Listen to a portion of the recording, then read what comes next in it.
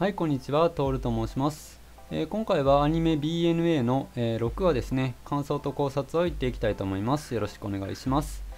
えー、まずですねえー、まあ、全体的な、話としては、えー、アニマシティにですね銀狼教という、ね、宗教団体が上陸してですねでそこで、えーまあ、ミチルとナズナが、え再会するという、え話ですね。でその6話の終わりには、え決別してしまう、ね、という流れでした。で、えー、書きたかったものというか、まあ、テーマ的なものとしてはなんか毎回ねこういう風にねテーマを取り扱ってますよね。前回はなんかこう貧困的なものをね取り扱ってたと思うんですけど、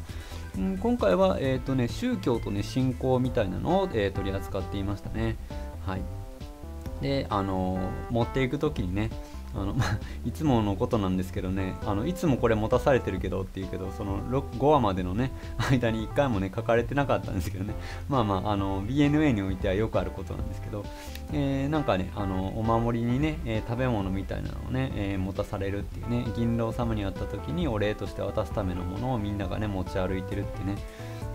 うんえー、そういう文化が十字の中で残ってるっていうようなねえー、まあ、基本的なね、まあ、信仰というほどじゃないんですけどね、えー、そういったものだとか。でそれをまあ利用したですね宗教団体みたいなものが出てきてですね、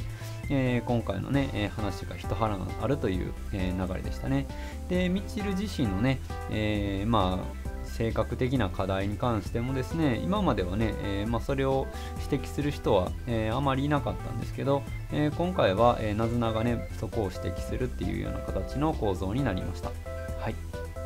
えーとでですね、まあ感想としてはですね、えー、まあ役者が大体全部ね、これで、ね、揃ったかなというような、えー、感じになっていますね。はいえーまあ、なので、まあ、今いる人物たちでですねストーリーを回していくんやったら、まあ、だんだんね、えー、深めていけるんじゃないかなというふうに思いましたね。うん、なんか4話でね出会って、ね、ニナちゃんとがね5話でも全然出てこず6話でも全然出てこずだったのでなんか、あのー、基本的にこうね、えーと、仲間とのつながりを深めていってほしいなというような、ね、感じのねことをね思いましたね。えー、一応ね、あのー、こう写真みたいなのをねアルバム的なものをねえー、開いたらですね、えー、それがね分かるみたいな、ね、描写があってですね、えー、これはねいいなと思ったんですけど、えまあ、こんな感じのことがねまたあったらいいなというふうに、え思っています、えでですねまあ、なずなの心の機微がですね、すんごい丁寧に書かれたなと思いましたね。なんか、あの、みちるに対してちょっと腹立ってるなとか、あの、ここはなんか、呆れてるなとか、ここはなんか、その自分の性格もあるけど言わなあかんかったんやろなとか、まあ、そういったところがですね、まあ、表情とかね仕草と言葉の使い方からねめちゃくちゃよく分かったので、えー、すごくこの部分丁寧だなっていうふうに、えー、思いましたね、えー、こういった書かれ方するね、えキャラクターがいなかった分ねかなりなんかリアリティを感じましたね。なんというかね。うん。はい、えー、どうだったでしょうね。えー、ただまあ、あの、まあ今ずっと言ってることなんですけど、みちるに対する共感っていうのはね、やっぱり薄い、ね、わざとそうしてるんだと思うんですけど、あんまり今回、なんていうか、まあ、みちるがまあ責められてもそうだよなっていう風になってしまったので、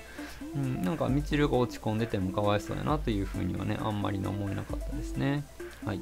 えー、で、まあ、宗教っぽさはね、もうちょっとね、あってくれても個人的には良かったかなと思うんですけど、これはまた今後描かれるのかなというふうに思いましたね。はい。えー、ここからがね、始まりということなんでね。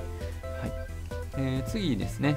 え、まあ、まあ、ここ好きというか、まあ、良かった点じゃないかなと思うのが、まあ、なずなとみちるの掛け合いはな、結構なんかリアルな感じが出ていましたね。なんかあの人間社会の女の子たちのやり取りってこういう感じやったんやなっていうのとあと貴重やったのがミチルに対する周りのあの反応が、えー、大体こんな感じやったんやろうなっていうのが、えー、すごいねよく分かりましたね、えー、この部分をもっとね早くにね書いといてもらいたかったですね。うんなんていうかこれがミチルやからなのか人間やからなのか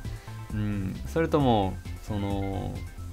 別の理由なのかっていうのがね、わからんままね、6話まで来てですね、で、まあ、それによって何か面白みが発生してたらよかったんですけどね、そういうわけでもなかったので、まあ、これがね、分かったのはね、すごい大きかったなというふうに、えー、個人的にはね、思いましたね。はい。うん、まあ、あのー、これをね、見せてくれたのはね、えー、かなり良かったですね。はい。えー、まあ、でこの辺りの何ていうかこうきね胸くそ悪いという言い方はなんかあれなんですけどこのモヤモヤする感じですよねこのやり取りとね、なんかみちるが何も見えてない感情なずながすごいイライラするしなずなも若干こうきつめのね、えー、性格なんでね、えー、決別してしまう的な感情ねなかなかね、えリアルやったなというふうに思いましたね、うん、あの前々回のニナとの対立がですね結局なんか表面化だけしただけでなんか本質的にはかなりなあな感じで収めたのに対してですね、えー、今回ねあの問題に対して課題を少なくともなんか突きつける半分は突きつけるみたいなことをしたのは初めてかもしれませんね。あの BNA ってなんかこう問題いろいろ取り扱ったりするけど絶対にそれを解決したりえー、主人公がそれに対してねはっきりとした意見を持ったりっていうのがねほとんどなくてですね、えー、基本的にはね若干こうもやっとしたものがね残ったまま終わることがね、えー、多いんですけど、まあ、意図してやってたんだとは思うんですが、え今回はね、えそういう意味ではですね、え少なくともみちる自身に対してね脳をね、え叩きつけたっていうことでなずなはなかなか強力な、え印象を残したんじゃないかなというふうに、え思いますね。はいえー、獣人たちの信仰の、えー、書かれ方がなかなかね面白かったですね、えー、これもやっぱり あの僕は1話から1話から少しずつでもいいので あの、えーと、そういった片鱗が見えるように書いてくれるアニメーションが好きです。まあでもこれは人のそれぞれの好みだと思いますね。はい。えー、まあなんか昔話的なのがね、えー、獣人の間であってですね、えー、で銀狼が助けてくれるよっていうこととですね、えー、まあ、日常の人々の日常に根付いてる信仰とですね、えー、それを利用した宗教っていうね存在ですよね、うん、ただまあさっきも言いましたけどなんか、えー、獣人たちの宗教っていうよりはただに普通の宗教を獣人の形した者たちがやってるだけみたいなね、えそんな感じがあってねなんか獣人ならではの独自性はやっぱりここでもあまり、え見ることができなかったのはちょっと残念でしたね。なんかあの獣人っぽいなんか遠吠え的なものでねなんかこう獣人ならではの宗教みたいなのをね出してくれてもね個人的には良かったんですけどねはい、えー、そんな感じですね、えー、次行きましょうかえー、あとは、えー、まあ、みちると視聴者とのね、距離がね、やっぱ遠いなっていう風なのは思いましたね。うん、これは、なんていうか、まあ、あえてやってるんだと思うんですけど、もったいないなと僕は思ってしまいますね。うん、なんか今回も結局犯罪にね、みちるはね、手を染めてね、えー、結果ね、前回の仲間がね、死にかけるっていうことをね、するんですけどね、えー、何一つね、反省とかをね、えー、するような描写はなくてですね、え今回の終わりもですね、え基本的には嫌なことがあったという、えー、認識までしか書かれていないっていうのは、うん、なんかそれによって、えー、それでしか書けないこともあると思うんですけど、うん、でもそれを書かないことによってなんか失ってるものの方が、えー、総合的には大きいんじゃないかなというふうに僕はちょっとね思いましたね。うんなんていうか、まあ、アニメーションとしてね見せたいものはあると思うんですけど、うん多分ねバトルものとかそういうのやったらいいんですけど、今回その見せたかったのってその宗教っぽい感じのね十二人たちとですねえー、あとまあ信仰的なもののね雰囲気とね。でまあみちるとなずなのね掛け合いのねリアリティみたいなね、えーえー、そういったところをね入れたいん買ったんやと思うんですよね。でそのためにまあみちるの印象が悪くなるようなね、えー、表現もねしてたんですけどね。まあこれまでもなんかそういうことを、ね、たくさんしてきてるのでんなんかアニメーションで見せたいものに対してですねもやってしてるものをこう解決してくれないのでなんかついていってる人たちはちょっとなんかこう残念に思ってしまったりするんじゃないかなって僕はちょっとね思ったんですけどね。うん、なんか単に戦いをメインに、えー、置いてるものやったらその絵がねアニメーションとしてねすごかったらね生えてたらあそうそうだよなって思うと思うしね。結構いろんなところをね乗ってこれると思うんですけどなんか扱ってるテーマがね、えー、今回もねちょっと重めのものやったりだとか、えー、この世界自体も謎に満ちていてですねえー、で、えー、それぞれのね独自の価値観で生きてる世界なんだよっていう風な、えー、設定だとですねやっぱそういうところをしっかり見たい人とか、えまあ、それに対して少なくとも1話の中で、うん、ある程度なんか指針が見たいっていう人見たいと思って見た人はやっぱり騙し討ち的なね、うん、印象とか何ていうかこう作ってる側をに対してちょっと無責任やなっていう風に、うん思ってしまうところがね増えてねこれは損してるんじゃないかなと現時点では僕はちょっとね思ってますね。これが多分わざとやってるんだとは思うんですけど、まあ、少なくとも6話まで見てですねこの主人公の振る舞いのまあなんというかこうねもやっと感に対して返ってきたのがその主人公自身の課題をたた叩きつける友人でしか今のとこなかったっていうのは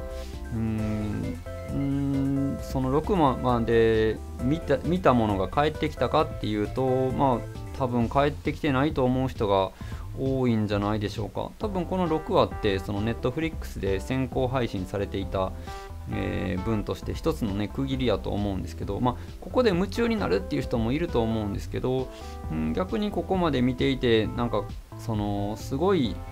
自分が期待していたものと違って失望する人も、えー、出てくるんじゃないかなって思ってしかも、それってすごくもったいないんじゃないかなと。だってその無自覚やったりやとかこの制作会社の力不足でそうなっちゃってるんじゃなくてこれってすごく丁寧に計算して意図してそうしているうんからこそなんか失ってるものの大きさを、えー、僕はちょっと感じてしまうんで、えー、ちょっとね長々とね述べさせていただいてですね。すいませんね。BNA がね大好きな方にはね、えー、ちょっとね不快なものをさせたかもしれないんですけど、えよろしければですね、えもうどんなねコメントでもいいですしねあの僕のね考え方が気持ち悪いっていうのはそれでもね全然、えいいんですけど、えできたらねあのいろんな人にねコメントというかね意見をね聞きたいなと思っていますのでで今回挙げさせていただきました。はい。えー、そんな感じでですね、えー、ご視聴ねありがとうございました。一応7話からもね見ていこうかなと思うんですけどうん、まああのー、そのね感想考察とかの動画を上げるかはちょっとねわ、えー、からないということで、えー、させていただきたいと思います。はい、えー、ありがとうございました。またね次回にありましたらよろしくお願いします。